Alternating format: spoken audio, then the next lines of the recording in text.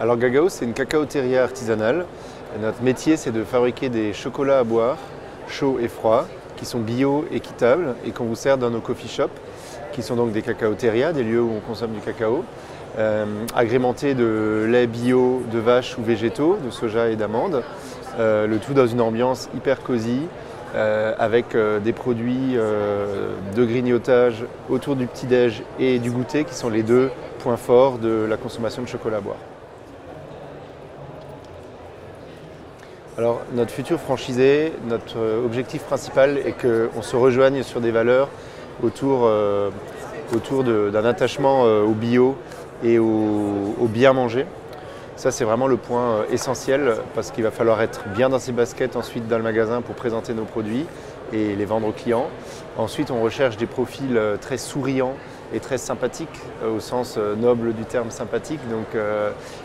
Et pour le reste, tout ce qui est l'amour du chocolat, la connaissance technique, c'est nous qui leur apprenons à, savoir goûter les produits, à savoir les vendre, à savoir les mettre en scène dans le magasin.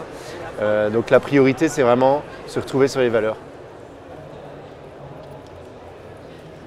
Alors, pour accéder au réseau Gagao, euh, il y a des conditions euh, financières, mais pas que. Les premières conditions vont être effectivement de, nous retrouver sur les valeurs, comme je disais tout à l'heure, de passer euh, une petite demi-journée d'immersion avec nous pour qu'on se rencontre et qu'on travaille un petit peu ensemble. Euh, ensuite, il va y avoir des conditions euh, géographiques. On a aujourd'hui un certain de villes prioritaires dans lesquelles on souhaite s'installer. Et après, il y a évidemment les conditions financières qui sont tout à fait d'usage dans le domaine de, la franchise, à savoir 20 000 euros de droits d'entrée, 4% de redevance de marque, 1,5% de redevance de communication. et voilà pour le plus gros des conditions.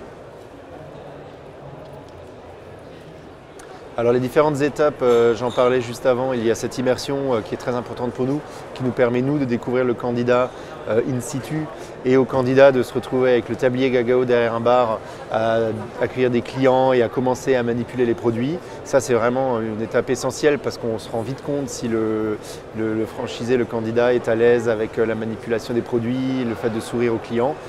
Et ensuite, les différentes étapes sont certes assez classiques, des entretiens téléphoniques poussés, quelques réunions de travail autour de la sélection du, local.